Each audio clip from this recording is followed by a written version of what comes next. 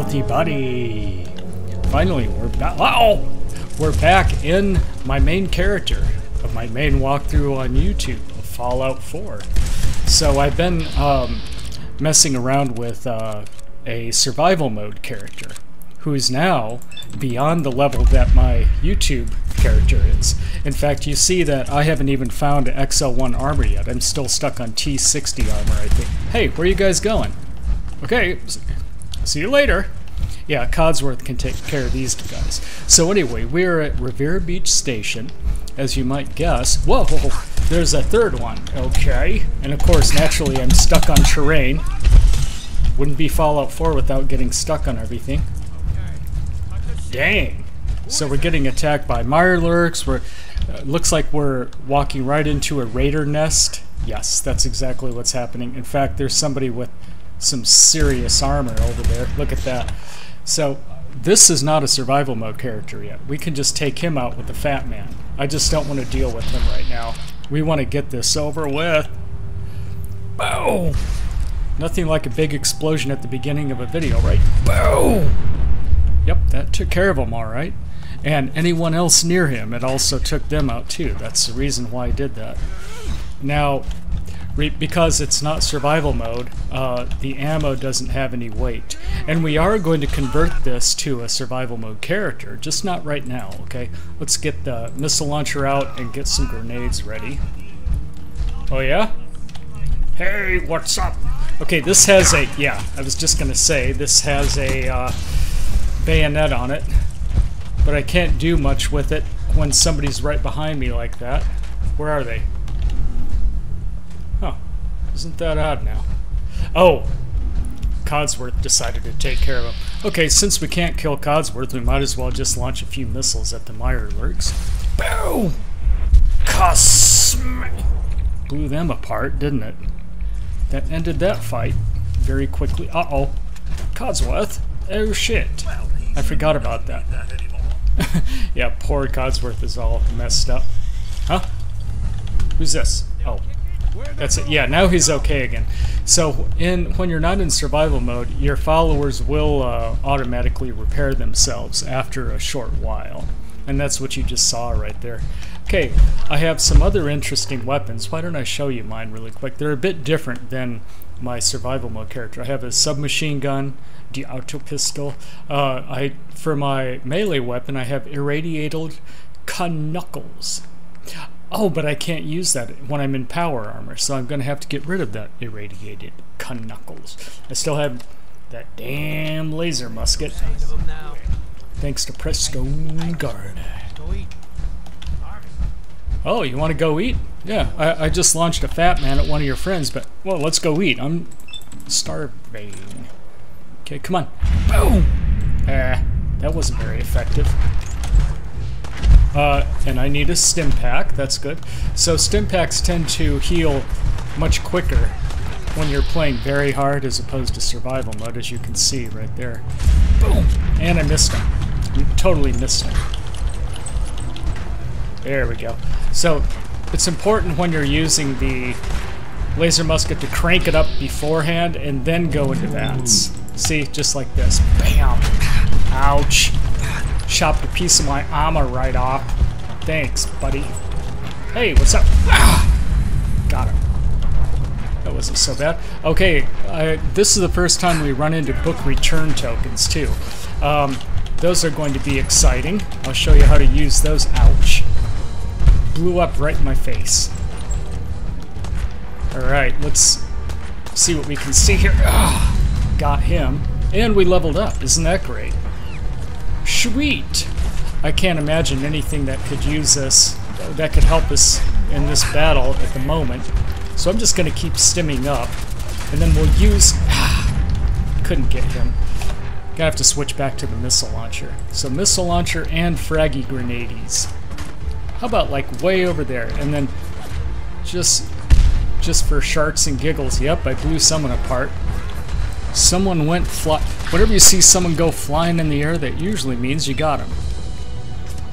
Bam! S nope, that didn't seem to do much.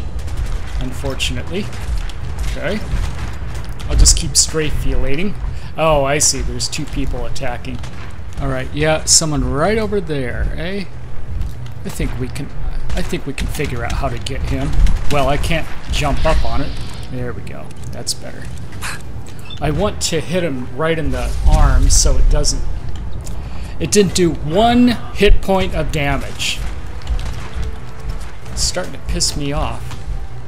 Yeah, these uh, terrain problems can really mess things up. So you have to kind of shoot him behind, right in my face again. So this is the never-ending grenades.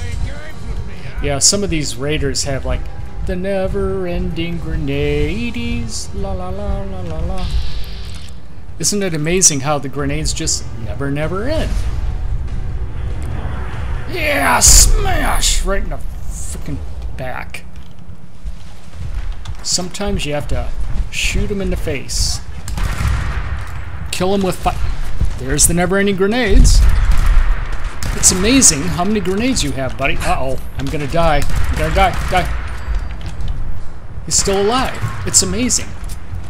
And we discovered Revere Beach Station, at least. That's important. That's good. Yep, and never any grenades. Codsworth is unfortunately stuck right in the middle of the battle where he can't repair himself automatically. So let's think about other things. Here, let's do a point blank range with a shotgun. Boom! And I forgot.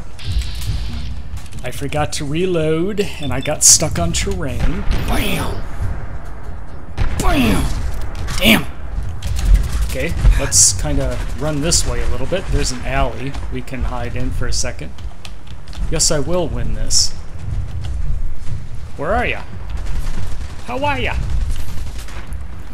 Yeah, this is uh, still a bit of a uh, challenge, but I must say it's not as challenging as survival mode is. There, finally got him. The never-ending grenade. It's amazing. And I can't repair Codsworth. There is no such thing as a repair kit yet. And that's really not how the followers repair themselves when you're not in survival mode. They just kind of automatically fix themselves after a while. There's another grenade. Damn, I'm almost dead again. At this rate, I'm going to lose all of my stim packs. So, but there's other things we can eat. You know, we can eat cat meat. Mmm, that was good. We can eat Crammington. There we go. So it irradiates us a little bit, but at least see how quickly we recover our health. It's hardly it's hardly a challenge when you recover health that fast. I'm so used to the excruciatingly difficult survival mode. Whoa! My frame rate dropped to like 9 points. I don't know what the hell's going on. Just a minute. I'm gonna have to fix this. She's she's right in my crotch. Yeah, there we go. I don't know what that was all about. Just another Bethesda bug. That almost never happens. I don't know why it happened just now. Ooh, is it? Nope. Okay, let's uh, mess around with the machine after we kill everyone. Sound good? Somebody just shot me, which means they have a line of sight to me. Oh, it's Skeet Ball. See? It's Skeety Shoot. Skeety Shooty Ball. Oh yeah. Oh, okay. Thanks for thanks for the warning, buddy. I wish I could find that never-ending grenade guy. Yeah, eat this. Eat this. Eat this never-ending grenade bouquet. Okay, so he must be up on another floor. Let's at least. Oh, there he is. There's two of them. Fine. We'll get through this. Just hang on. Oh, what's the best thing to... Yeah, let's hit him right there. Bam. Bow. And no damage whatsoever. Isn't that exciting? Yeah. No damage at all. Okay, let's... Uh, well, there's the book return machine, or the token return machine. Uh, you can accumulate tokens by returning overdue books. So we are going to find those, just not right at the moment. Let's take these last few people out first. I think there's a few raiders left. Uh, I'm using a submachine gun on these guys. Hey, we might have taken them out once and for all. Actually, I think we did. Nope, there's still one left. Somehow we managed to miss this guy. Isn't that interesting? Oh no, he's a Brotherhood Knight. I see what happened. So they came in the nick of time and finished, started finishing off these idiots. Good. And that knight almost died, by the way. You know, if he did die, then we could loot his body. I'm sure uh, Elder Maxson wouldn't mind at all, would he? Okay, let's start by looting this uh, nice steamer trunk. Yes. Dang. Okay, 16 book return tokens. I'll show you how to use those in a minute. Now remember, in um, survival mode, ammo does have weight, but in very hard mode, ammo doesn't have weight. So we can loot all the ammo we want. Alright, here's a Live and Love magazine. Good. Plus one luck from alcohol, which I don't use often. In fact, I really only use alcohol to craft other ingredients like whiskey. Makes grape Mentats. Grape Mentats gives you better vendor prices. So you actually your money goes much farther when buying and selling stuffs. Is that cool or what? Alright, so we're going to start looting this place. I'll show you what kind of good loot there is to be had here. And then eventually we're going to have to go into Revere Beach Station. So we did discover Revere Beach Station. It's actually a subway. Or this, you know, this area is built around a subway. There is a subway to explore. We'll go in there in a minute. By the way, we are on our way to Libertalia. The quest is called Synth Retention. So we have to meet up with the Courser over at Nahant Wharf, right here, and then eventually he will guide us to Libertalia, where we have to beat a synth who thinks he's a raider, and we have to initiate a factory reset on him and send him back to the Institute. so it's quite a complicated quest, but that's well, that's where we are. Okay, I'm we are going to loot all this stuff. Uh, it's important earlier in the game like this to loot every, anything and everything. And the reason is, um, well, that accumulates wealth. And you can't carry everything, however, your companion can. And the way to get your companion to carry anything and everything is to direct him what to loot. See, so you can't pick things up and then give it to him. But I can tell him, see, like I can tell Codsworth, hey, get over here. Yeah, he can't make it over that barricade. That is so annoying. Okay, so we have to drag the body over here. Okay, now maybe you can reach him. Grab anything useful. There, Check see? He took everything. He just yanked everything right off that raider, which is good. And then we would do the same thing to this. So I already did... Whoops. Oh, shit. I just took something by accident. Okay. Oh man, I'm having all sorts of problems all of a sudden. Yeah, see, he can't reach it, but if we throw him over the barricade, then all of a sudden he can. Get see it. See if there's anything there. There, he just literally yanked everything right off the body. Alright, that's awesome, isn't it? Now let's take a look in here. And before too long, we're going to have to end. That was quite a firefight, wasn't it? But we did level up. Uh, let's take a look and see. Yeah, we actually have two perks to use. So why don't we level up first? La la la. So I am working on intelligence. I do love intelligence uh, because you level up quicker. That's very important because there is no level cap. So there's every reason to level up quicker. We've now unlocked all 10 perks in the intelligence tree. See, we can even use Nerd Rage if we want now. Uh, I don't really need it.